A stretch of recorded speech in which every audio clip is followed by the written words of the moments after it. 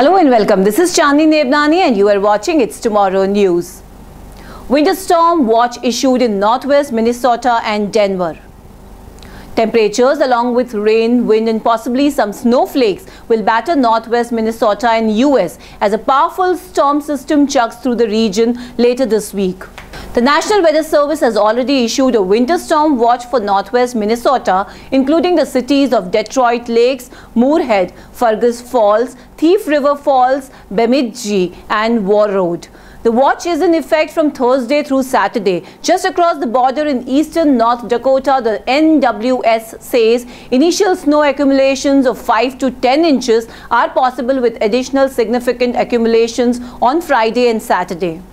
There will be a very tight zone with transition from rain to snow. This will set up near Hallock, Grand Forks and Valley City, says the NWS. Therefore, expect large snowfall differences, especially in Grand Forks County, with less snow in the city and more snow west of the air base.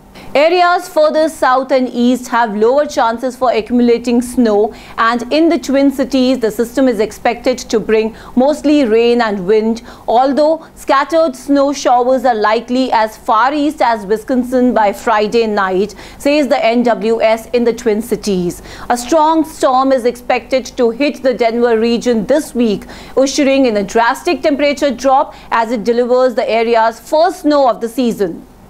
Temperatures will plummet on Wednesday from a high around 80 degrees Fahrenheit into the 20s at night as the storm pushes in, the National Weather Service Denver office said. The storm system would have begun dumping snow on Tuesday on the north central Rockies where winter storm warnings and advisories have been issued and up to a foot of snow could fall.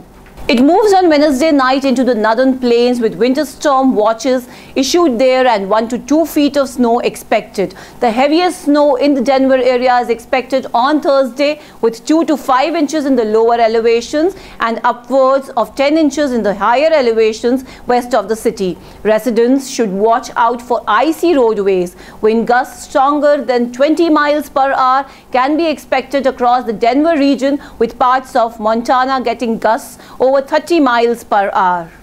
In addition to falling limbs, these winds will also contribute to blowing snow conditions, diminishing visibility on roads. The snowstorm by Saturday will reach as far east as Minneapolis before the system moves into Canada.